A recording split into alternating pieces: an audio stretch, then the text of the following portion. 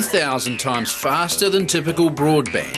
If you have access to the loop, you have access to the world. The loop also links school to school. Brightwater Primary now has what it could never otherwise have afforded fast, unlimited access to learning online. We can go into a program and it's right there waiting for us rather than us waiting for that. We don't have breakdowns. We have instant access, and we have kids who can now have a real personal input into their learning because they can upload their own work, save it out there onto the net, access it from home, access it from school. We can have the whole school online at once. That's 250 kids if we wanted to. And for just $140 a month, it now has access to some of the best education programs in the world on video. And it's the world they live in. They're 21st century learners. They grow up with television, cell phones, iPods, all of those things. This is just an extension of that. Nelson, New Zealand. The loop links 20 schools across the top of the South Island in Nelson and Marlborough. They're joined by 300 kilometres of fibre optic cable laid by a local power company, Network Tasman. It's incredibly exciting because we're doing something that is almost unique internationally.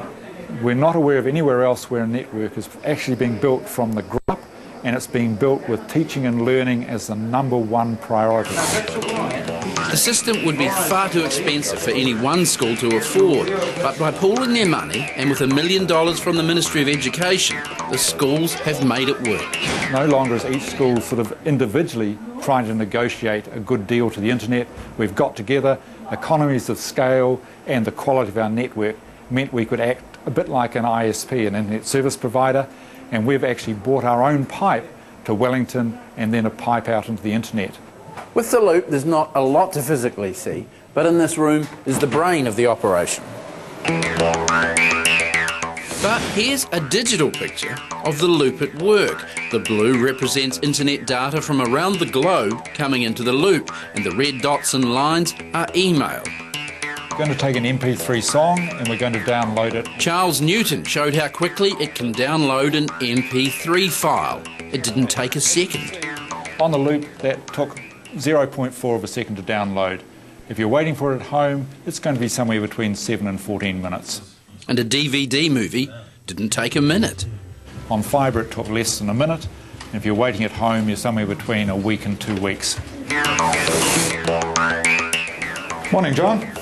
And it's a short walk rather than a two hour drive to talk to the principal of Collingwood School. The loop means rural schools are no longer isolated. So, so you feel very much a part of the world, the modern moving world. Yes. That must be cool out there in Collingwood. Oh, I mean, it's great. I mean, we'd like to ignore the rest of the world much of the time, but, um, you know, that's not actually really practical. And certainly in terms of giving our students the best educational opportunities, um, it's not it's not what we want. So we have to keep up. We have to be in touch.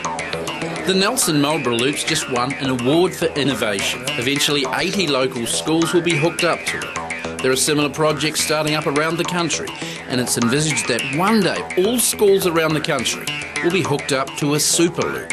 And of course, if we've managed to show these benefits of economies of scale and collaboration and cooperation just within our local area, imagine how powerful it will be when these loops work together. If some things have remained the same at school, the loop is the emerging face of education, bringing the world into the classroom the way it's never been done before.